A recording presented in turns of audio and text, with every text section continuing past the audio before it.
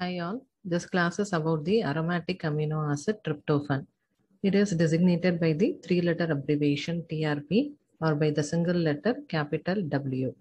It is an essential amino acid, otherwise known as indispensable amino acid, in which the carbon skeleton cannot be synthesized in the humans and it has to be necessarily provided in the diet. The other essential amino acids are, you can remember by the mnemonic, as I have said already in the phenylalanine and tyrosine class, right? So it is PVT, TIMHAL, phenylalanine, valine, threonine, tryptophan, isoleucine, methionine, leucine, and lysine. These are the essential amino acids and histidine and arginine are semi-essential amino acids. It has the special group as the indole group. As you know, tyrosine has a phenol ring and phenylalanine has the benzene ring. The special group in tryptophan is the indole group. Based on the metabolism, it is partly glucogenic and partly ketogenic. The other partly glucogenic and partly ketogenic amino acids are lysine, isoleucine, phenylalanine, and tyrosine. You can remember by the mnemonic LIPT. So it is an essential amino acid and it is provided in the diet. Coming to the catabolism of tryptophan, this uh, 97 percentage of the molecule of tryptophan, they enter into the major pathway.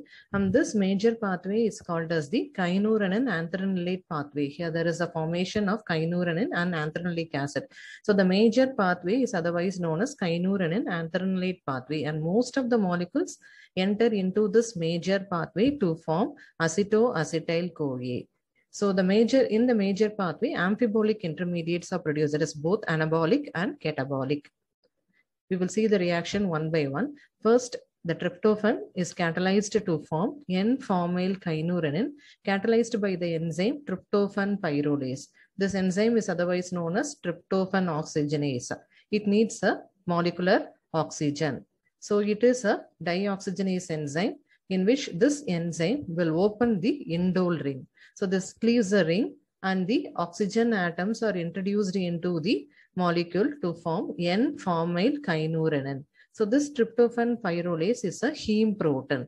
This uh, oxygenase is feedback inhibited by the nicotinic acid derivatives, including the NADPH. So tryptophan is catalyzed to form N-formyl kynurenine, catalyzed by the enzyme tryptophan pyrrolase. It is a dioxygenase enzyme in which it opens a ring, it cleaves a ring to form N-formyl kynurenine. This is the first step. The next step is the conversion of N-formyl kynurenine to kynurenine. Here the formyl group is donated to the tetrahydrofolic acid. So this tetrahydrofolic acid accepts a formyl group from the N-formyl kynurenine and it forms formyl tetrahydrofolic acid. This enters into the one carbon pole. There are six, um, there is 11 carbon atoms of the tryptophan. So this is a six ring, a six carbon ring, six, seven, eight carbon, nine, 10 and 11. So totally there are 11 carbons in the tryptophan. So one of the carbon is removed as a form of formyl tetrahydrofolic acid to form kynurenine. So totally kynurenine has the 10 carbon atoms. The next step is the conversion of kynurenine to the 3-hydroxykynurenine. So kynurenine is hydroxylated to form 3-hydroxykynurenine. 3-hydroxykynurenine is converted to 3-hydroxyanthranilic acid catalyzed by the enzyme kynureninase. This kynureninase is a PLP dependent enzyme which is a pyridoxal phosphate. So in during the conversion of 3-hydroxykynurenine to 3-hydroxyanthranilic acid, a 3-carbon alanine is also produced. Alanine is a glucogenic molecule. So as you know, tryptophan is partly glucogenic and partly ketogenic. So alanine is a glucogenic compound that is synthesized from the tryptophan. In case of pyridoxal phosphate deficiency, there is accumulation of 3-hydroxykynurenine since it cannot be converted to 3-hydroxyanthranilic acid. So till now we have seen tryptophan is catalyzed by the enzyme tryptophan pyrrolase, which is a dioxygenase enzyme to form N-formyl kynurenine. This N-formyl kynurenine donates a formyl group to the tetrahydrofolic acid to form formyl tetrahydrofolic acid. This formyl group enters into the one carbon pole to form kynurenine. So this uh, kynurenine is hydroxylated at the third position to form 3-hydroxykynurenine. This 3-hydroxykynurenine is converted to 3-hydroxyanthranilic acid catalyzed by the enzyme kynureninase. During the conversion, alanine is also produced. The next step is the conversion of 3-hydroxyanthranilic acid to amino carboxy muconaldehyde. So from 3-hydroxyanthranilic acid, uh, the pathway differs. So niacin, which is a minor, niacin synthesis is a minor pathway for, of the tryptophan metabolism. So the 97 percentage of the molecule will enter into the major pathway to form acetoacetyl-CoA. So from amino carboxy muconaldehyde, decarboxylation occurs to form amino muconate semialdehyde. It donates it uh, the amino group is removed at this stage to form ketoadipic acid and two carbons are removed from ketoadipic acid as carbon dioxide to form acetoacetyl CoA. So this acetoacetyl CoA is a ketogenic molecule. Hence tryptophan is partly glucogenic in during this uh, that is it synthesize alanine and partly ketogenic acid synthesize acetoacetyl CoA. So the uh, one one of the carbon is removed as the formyl group and three carbons is three carbons are removed as the alanine and acetoacetyl CoA as you know it is a four carbon compound and the remaining three carbon of the tryptophan is removed as the carbon dioxide. So of the 11 uh, carbon atoms in the tryptophan so one as the formyl group one carbon as a formyl group three carbon as an alanine four carbon as an acetoacetyl CoA and three carbon as carbon dioxide are removed so next we'll see about the products derived from tryptophan. As you know, the one formyl group is produced, which enters into the one carbon unit. Also, alanine is synthesized, which is a glucogenic molecule. Acetoacetyl CoA is synthesized during the metabolism of tryptophan, which is a ketogenic uh, compound. And niacin, serotonin, melatonin are synthesized from the tryptophan. The excretory product of tryptophan are pi-hydroxy indole acetic acid and indican. So these are all the products derived from tryptophan. We will see one by one. First, we'll see about the synthesis of niacin. So niacin, about three, only 3% of the molecule are diverted at the level of 3-hydroxyanthranilic acid to form NAD. So here 3-hydroxyanthranilic acid is converted to quinolinic acid. It has two COH group. So with the removal of carbon uh, carb, uh, COH group as a carbon dioxide, it forms niacin. As you know, niacin is a pyridine. This is a pyridine molecule, pyridine nucleus with a third position, it has COH group. The pyridine 3-carboxylic acid is the niacin. The niacin is converted to nicotinate mononucleotide catalyzed by the enzyme quinolinate phosphoribosyl transferase. This is said to be the rate limiting step in niacin metabolism. So this NMN, which uh, nicotinamide mononucleotide, which combines with the adenine mononucleotide to form NAD, nicotinamide adenine dinucleotide. This is how the NAD is synthesized. As you know, 60 milligram of tryptophan is needed for the synthesis of 1 milligram of niacin, which I have discussed in the niacin class. So one equal uh, one um, equivalent of nia niacin equivalent is 60 milligram of tryptophan. So the deficiency of the tryptophan occurs uh, in a people whose staple diet is ma uh, maize. So maize is deficient in tryptophan and hence the pellagra-like symptoms occurs in these people. So the deficiency of tryptophan in maize will cause niacin deficiency. As you know, in the niacin deficiency, the patient presents with diarrhea, dementia, and dermatitis. You can remember by three Ds, right? So uh, also this PLP is a cofactor for the kynureninase. Hence, in pyridoxine deficiency, niacin is also not synthesized. So one vitamin is needed for the synthesis of other vitamin. Here, B6 is needed for the synthesis of B3. In case of this uh, pyridoxal phosphate deficiency, there is accumulation of 3-hydroxy kynurenine and kynurenine, right? So there is a block here and the kynurenine gets converted to xanthurenic acid and it is excreted in the urine. Till now we have seen about the niacin. Next we'll see about the serotonin. Serotonin is 5-hydroxytryptam, tryptamine. So in the MCQs, we will ask you uh, what is uh, serotonin. It, it should be 5-hydroxytryptamine. It is not 5-hydroxytryptophan. Please remember serotonin is 5-hydroxytryptamine. It is synthesized in the brain, mast cells, platelets, and gastrointestinal tract mucosa. So this is the pathway for the synthesis of serotonin. The first step is the hydroxylation of tryptophan to 5-hydroxytryptophan.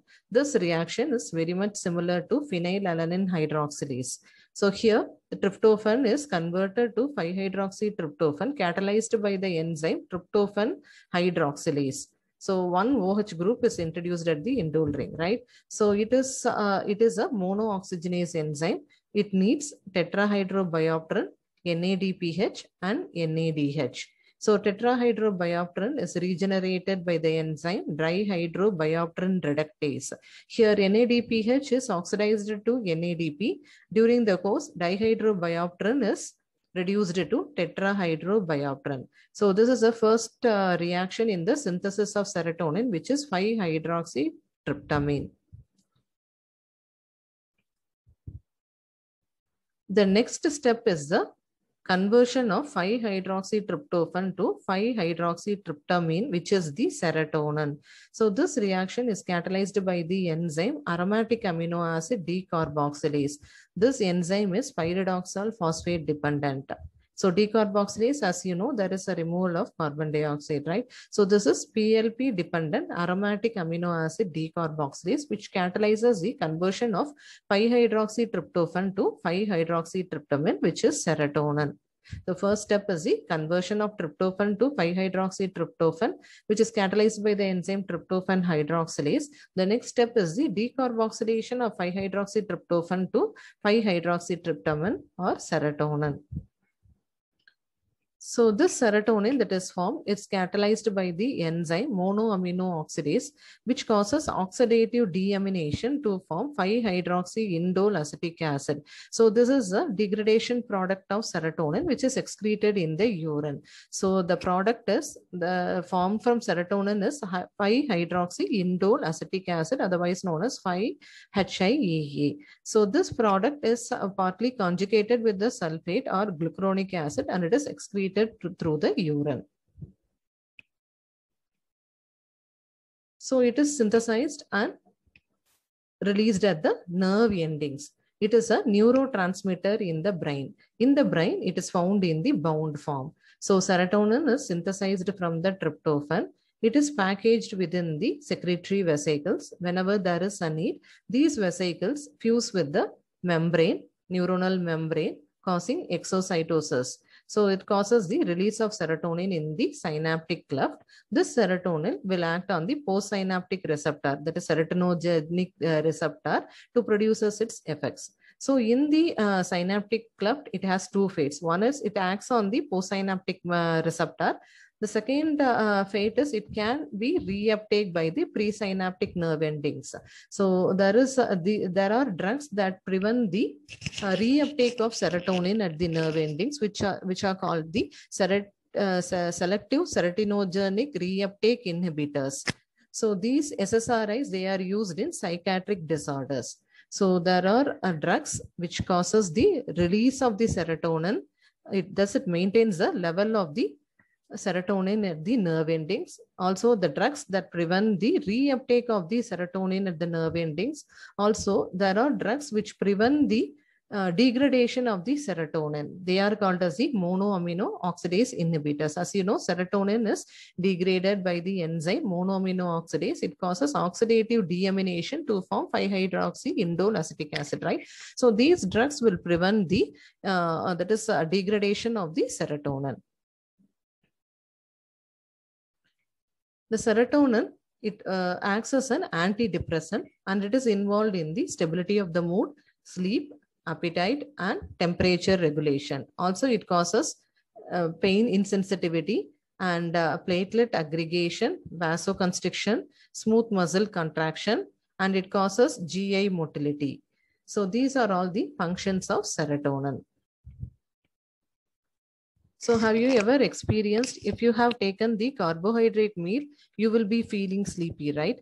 So if you uh, have taken a protein rich meal, this causes alertness. There is a reason behind this. So whenever when you uh, take the high protein rich diet, these amino acids will be available in the blood and this causes a traffic jam of the amino acid at the amino acid transport system in the brain. So tryptophan being the bulkiest amino acid, it is taken up very slowly and hence it causes alertness. Whenever the, uh, you have taken a carbohydrate uh, rich meal, this causes an increase in the insulin secretion. So this, uh, the function of insulin is it lowers the amino acid concentration. So and hence the tryptophan easily enters the brain. So uh, the tryptophan, it forms the serotonin, thus induces the sleep. So this is the reason behind the sleepiness on the intake of high carbohydrate diet. So the reference value of serotonin is, serotonin is 50 to 200 nanogram per ml. So there are conditions in which there is alteration of the serotonin level increased in case of carcinoid tumors. So these carcinoid tumors are the neuroendocrine tumors. In these tumors, the level will be more than 400 nanogram per ml. So there are also certain tumors in which uh, the serotonin level will be elevated one is the oat cell tumor. The name is such that because on microscopy, these cells will look like a oats. And dermoids, it, uh, it, it is composed of the derivatives uh, from the ectoderm. And cystic teratoma, it is the most common tumor of the ovary uh, it has the derivative, that is, it has the elements composed of ectoderm, mesoderm, and endoderm. So there is a difference between the, this is a difference between the dermoid and cystic teratoma. So in the dermoid, it has only the ectodermal elements. In case of teratoma, it has uh, uh, derivatives from the ectoderm, endoderm, and mesoderm. Also in pancreatic uh, islet cell tumors, in pancreatic neuroendocrinal tumors, the serotonin level will be elevated. Also, in, in medullary thyroid tumors, the level of serotonin is going to get elevated. So these are all the causes for the high serotonin level. So the normal serotonin level is 50 to 200 nanogram per ml. So there are uh, situations in which the serotonin content is going to get decreased. One is the Down syndrome. Second is the phenylketonuria, which I have discussed uh, earlier in the phenylalanine metabolism. In um, and in Parkinson's disease and in case of severe depression. So these are the causes in which the serotonin level will be decreased. In certain types of phenylketonuria, the regeneration of the tetrahydrobiopterin will be defective. And uh, in that cases, the serotonin level will be decreased, right? So we'll uh, see about the carcinoid tumor. So these are the tumor that uh, they are arised from the argentaffin cells. So in this, in this is a histological picture of the GI mucosa showing the argentaffin cells. They are the neuroendocrine cells that is distributed throughout the GI mucosa. So what is the function of this uh, cell is, is they produce the serotonin and this is responsible for the GI motility. So normally only 1% is channel for the synthesis of serotonin while in case of carcinoid tumor 60% of the molecule is directed towards the synthesis of serotonin. Also since majorly it is uh, uh, it is rooted for the synthesis of serotonin in case of carcinoid syndrome the patient presents with niacin deficiency So these cells will cause us, uh, will they become locally malignant and forms the locally malignant argentaffinomas. The serotonin that is released, they produces flushing, sweating, intermittent diarrhea, and fluctuating serotonin level. How are you going to estimate the excretory product of serotonin, which is 5-hydroxy-indole acetic acid? So you need to collect the 24-hour urine and uh, you need to stop all the medication 72 hours prior to the estimation of 5-hydroxyindole acetic acid in urine. And some of the foodstuffs uh, have high serotonin level and which causes the uh, elevated 5-hydroxyindole acetic acid, which are bananas, avocados, tomatoes, walnuts, plums, pineapples, and eggplants. And certain medications uh, will causes the elevation of 5-hydroxyindole acetic acid, which are glyceryl guaiacolate, which is used for the treatment of cough, and indomethacin. So these are the drugs will elevate the 5-hydroxyindole acetic acid, and hence it has to be stopped 72 hours prior to the estimation. Normal level is it is 2 to 7 milligram per day. In case of carcinoid, the level is going to be very much elevated, which is more than 25 milligram per day. If it is more than 25 milligram per day, it is a diagnosis of, it, it is a diagnostic uh, for carcinoid of gut and bronchus. In case of metastatic carcinoid, the level is going to be more than 350 milligram per day. If it is locally malignant, the level is more than 25 milligram per day.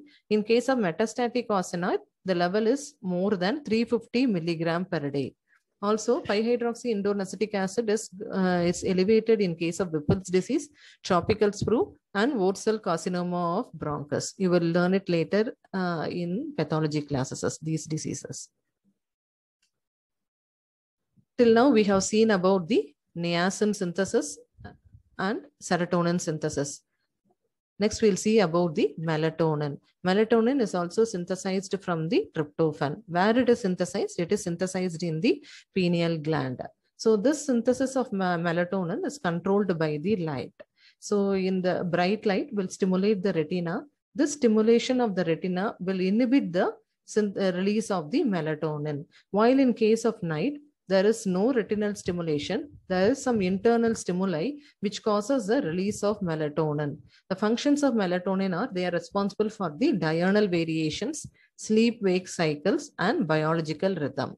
Also, it acts as a neurotransmitter and it blocks the melanocyte stimulating hormone and aden adrenocorticotropic hormone called as ACTH secretion. So uh, when uh, retinal cells, they are not stimulated, it causes the, there is some internal signal which causes the release of norepinephrine at the nerve endings. These norepinephrine will act on the beta adrenergic receptor. This activation of the receptor will increases the adenyl cyclase level in the pinealocyte. This catalyzes a conversion of ATP to cyclic AMP. This cyclic AMP will activate uh, the enzyme needed for the protein synthesis. So uh, here the tryptophan is taken up from the capillaries into the pinealocyte. The tryptophan will enter into the, uh, that is it is utilized for the synthesis of serotonin. This serotonin will get acetylated to form N-acetyl serotonin catalyzed by the enzyme acetylase. So this N-acetyl serotonin will accept the methyl group. Here the methyl group donor is a S-adenosyl methionine to form melatonin.